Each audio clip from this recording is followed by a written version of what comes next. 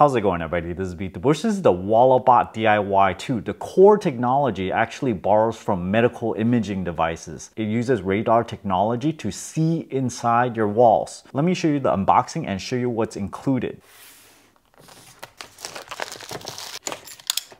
Instructions, the main sensor unit, and then we have the USB-C charge cable. That's it in this box. This is the carrying case fits exactly right here. Put the charge cable and even the instructions all fits nicely in here. There's also this phone attachment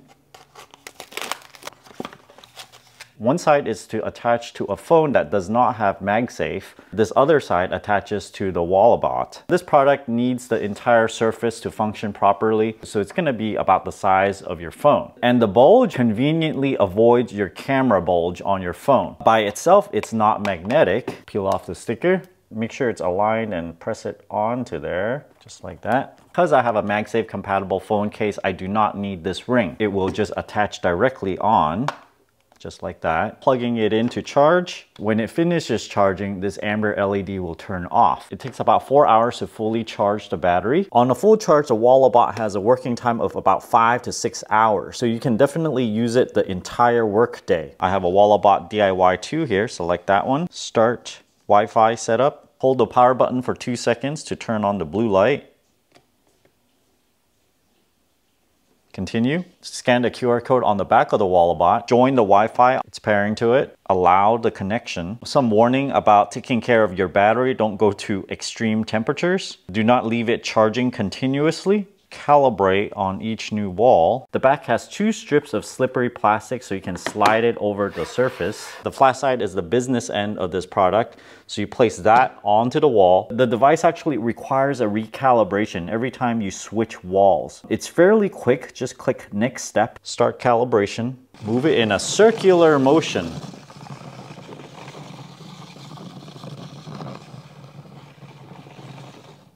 Calibration complete. Start to scan. I don't actually have to have the phone attached onto this device. Move it left and right.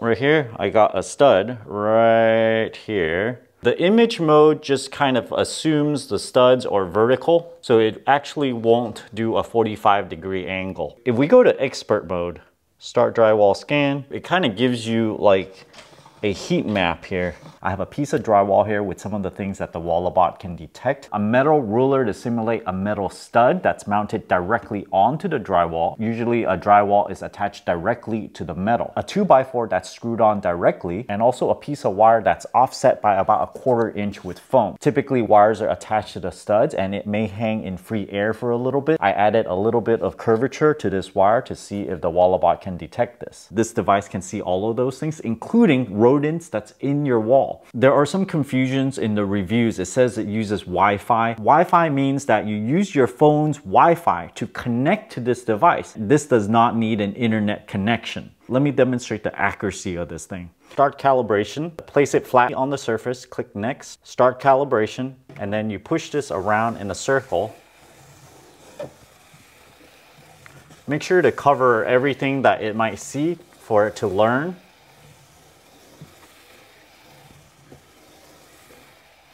There we go, we're done. Image mode, start scan. I have a metal ruler right there and it does detect it. Note that this little notch right here is the center of the ruler. If I make sure this little notch on this image is right at the center. It seems fairly accurate for the metal ruler to within about an eighth of an inch. If I move it kind of quickly around, it's around maybe four frames a second. And if we get a little bit too close to the edge, yeah, it still works. I have these lines that indicate the exact location of the stud behind it.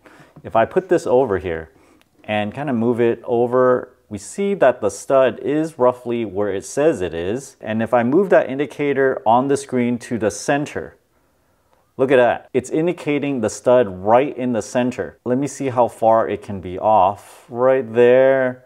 And then on the right side, you can see as I move it left and right. Okay, right there. It thinks it's a center. So it's very accurate in terms of finding the exact center. Let's try it again a little further down, almost even 1 16th of an inch. Now we can trace the wire that's going downwards like this.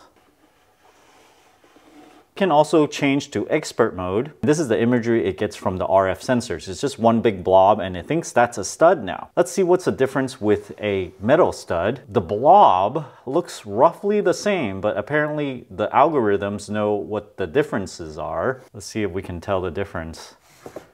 It seems like the center is redder to me compared to this one. The wiring just makes it not very round. It kind of skews the blob a little bit. And then also if you have like an animal behind it, it says it's a pipe or a wire.